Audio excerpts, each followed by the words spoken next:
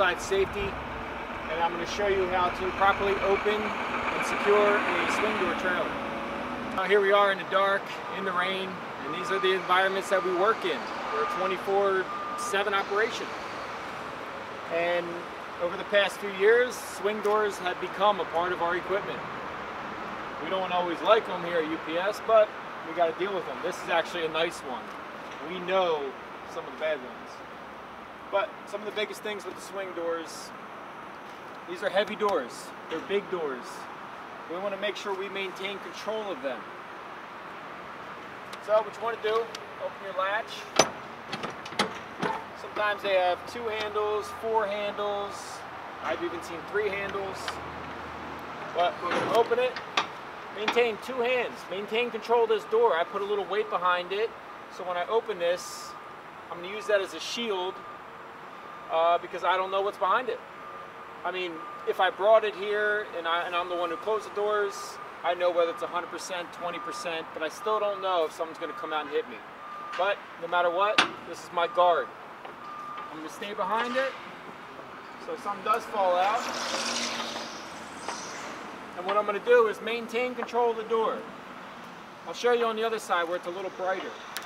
So when you get to this point, you want to look inside. If there's a bunch of stuff leaning on this door, I may back onto the primary, go unload, get it off the pressure of the door, then I'll pull forward, open this back up, put it back on the primary. So again, treat it the same way. Open, two hands, use it as a shield. And I'm gonna maintain control of it because if I'm, if I'm just relaxed with it, a gust of wind could come. This door is not gonna, you know, apologize when it decides to hit me. Maintain control all the way to the wall. Push it against the wall. Properly secure it. Uh, a lot of these are different. They're chains. I've seen latches actually pressing it.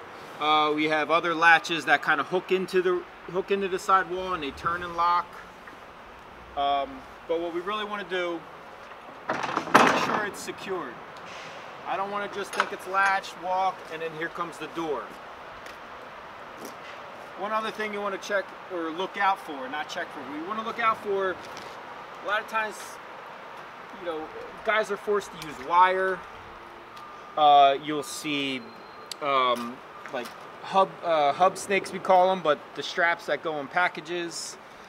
Basically like a rat's nest be careful of this stuff. I mean, that wire can easily puncture my skin, so I got my gloves on, but I don't want this caught in my arm.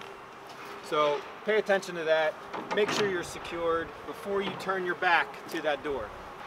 Uh, another little tip is when you're backing up with a, with a swing door, when you get back in a straight line or, or as you're doing your setup, make sure you're looking in both mirrors and you're able to see both doors are still open and secure if one is missing and out of sight, it's a good chance that it's just, it, it came loose and when you back against the hub or in front of another trailer, you could rip it off.